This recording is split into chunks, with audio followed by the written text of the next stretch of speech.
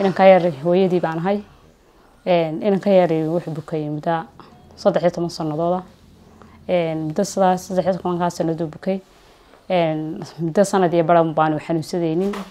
Intii kale dhulyaal buu intaa kale wuu xanuunsadayay. Muddadaa imika uu xanuunsadayay meel aan la marin oo dalka ah oo ma jirto. Dhakhaatiirtii waxay gu yidhaaheen waxba halkan lagaga qaban kari maayo. Dalka dabadiisa mooyaane amba malaysia amba hindiya.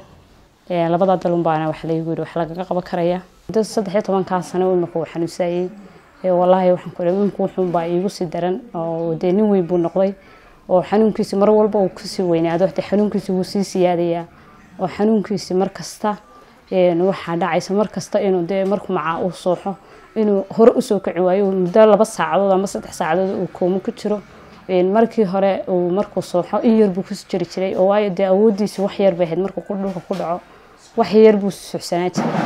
Iminka mise laakiin muddo saddex iminka muddo afar sano ah xanuunkiisi mar walba marka ka sii dambeysa mar walba marka ka sii dambeysa wuu sii xanuunsadaya oo suuxditaankiisi baa walaa xawli sii noqodaya. Marka aniga iyo faalmigaygu toona waxaan ku yidhi wax aanu maanta ku geyno dhakhtar ma hayno marka ummadayda soomaaliyeed waxaan ka codsadayaa sharafta leh inay inanka yar ilaahay dartii igu soo caawiyaan. Inankaa yari waxaan ku yidhi xanuunkiisaasunbuu la leecaya marka inanka waa curadkaygii shan caruuraa ka yar maasha allah shanta caruuree kale way caafimaad qabaan oo way joogaan. Markaa dadkayga muslimiinta waxaan ka codsadaya mid joogaya mid joogaya mid ganacsadaaba.